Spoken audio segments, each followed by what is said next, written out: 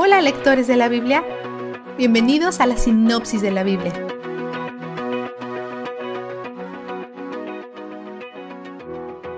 La historia de Ruth se desarrolla en el tiempo de los jueces, cuando todo tipo de maldad llena la tierra de Israel. El libro empieza con una pareja de esposos, Elimelech y Noemí, que dejan el pueblo donde nacieron para escapar de una hambruna. Se establecen en Moab, un pueblo pagano, al otro lado del río Jordán. Después que ellos y sus dos hijos llegaron a Moab, los hijos hicieron lo único que Dios les advirtió que no hicieran. Se casan con mujeres que adoraban a otros dioses. Eventualmente, Elimelech y sus hijos mueren, dejando a Noemí y a sus nueras moabitas que se valgan por sí mismas. Noemí está en una situación desesperada. Como viuda, sin ningún hijo, no hay manera para que ella sea provista, especialmente no en una tierra extranjera que no tiene leyes para proveer a las viudas como las tiene Israel. Afortunadamente, le llega la noticia que la hambruna ha terminado, así que empaca su equipaje. Les dice a sus nueras paganas que se regresen a su casa, en donde pueden empezar de nuevo. Orfa se va a su casa. Pero Ruth toma una decisión impactante. Ella se apega a una viuda desamparada y deprimida y deja su país para mudarse a una tierra extranjera. Mientras le hace este compromiso a Noemí, Ruth invoca un juramento a Dios y se refiere a él como Yahweh. Esto nos deja saber que algo ha ocurrido en su corazón. Su lealtad se ha transferido de sus dioses paganos al Dios de Noemí. Ellas regresan a Belén, pero Noemí está amargada. Piensa que Dios la está maltratando. Ella no tiene idea de lo que le espera. Aún mientras ella se queja, las bendiciones de Dios están en camino y cada detalle del tiempo y el lugar es orquestado para su bienestar. Manda a Ruth a trabajar en el campo de un familiar, confiando en la ley de Dios que los israelitas no deben cosechar los perímetros de sus tierras para que los pobres y los peregrinos puedan juntar a lo largo del borde. Levítico 19, 9 a 10.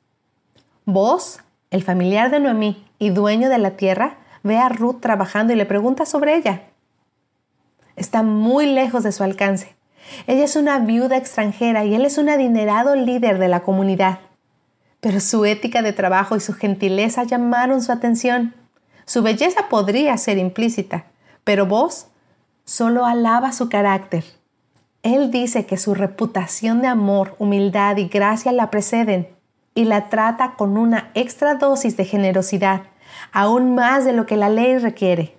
Noemí se da cuenta del potencial y juega a la casamentera. Le dice a Ruth que pare de vestirse como viuda y le envía a visitar a vos de noche.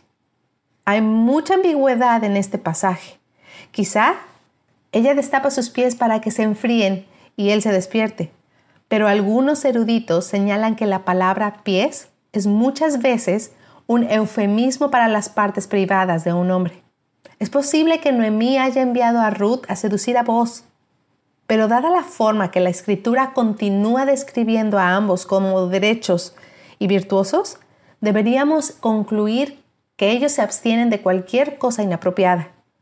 De hecho, Boaz llama a Ruth una mujer digna, la frase usada en Proverbios 31:10 en referencia a una mujer virtuosa o una excelente esposa. Ruth básicamente le propone matrimonio a Boaz.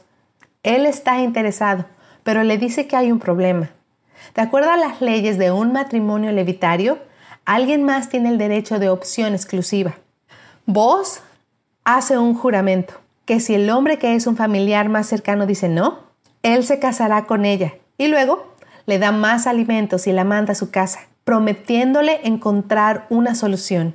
Va al lugar de encuentro local y le informa al otro individuo. Ese individuo no está interesado, porque cualquiera que redime a una viuda es responsable de darle un heredero.